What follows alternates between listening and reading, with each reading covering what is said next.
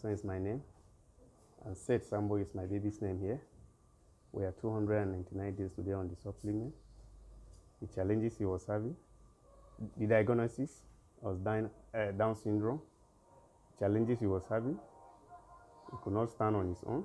He could not sit before. No good neck control.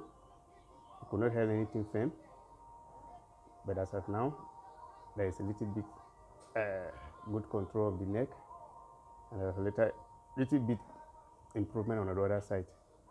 We want to thank the Ministry of Health, Brain and Body Foundation,